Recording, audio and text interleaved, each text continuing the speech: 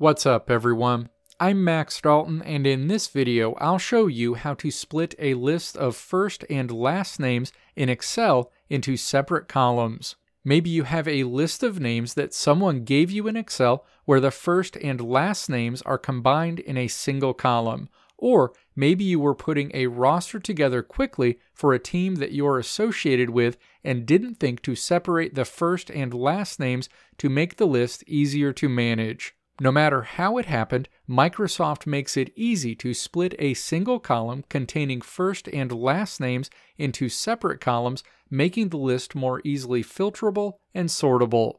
Now let's walk through the steps to split a list of first and last names in Excel into separate columns. Step 1. Open the Excel spreadsheet with the list of first and last names in a single column that you want to split. Step 2. Highlight the text in the column that you want to split.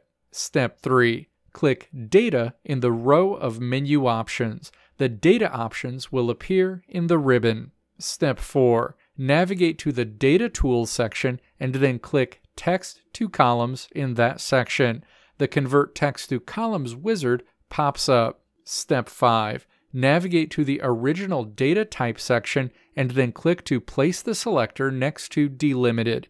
This will enable you to use characters such as commas or tabs to separate each field. To be clear, we won't use fixed width because names can be varying lengths.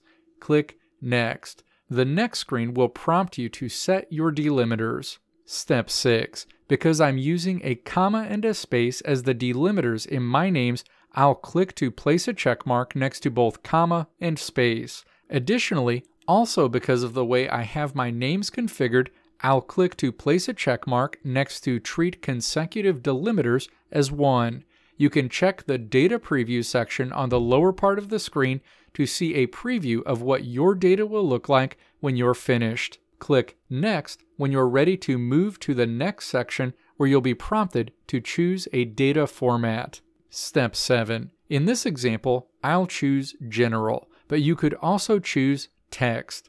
Click Finish when you're done. You'll be routed back to your spreadsheet where you'll now see your first and last name split out into two separate columns in Excel.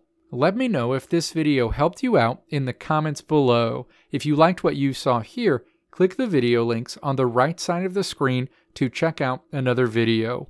Or click the logo on the left side of the screen to check out my tutorial website at www.maxdalton.how.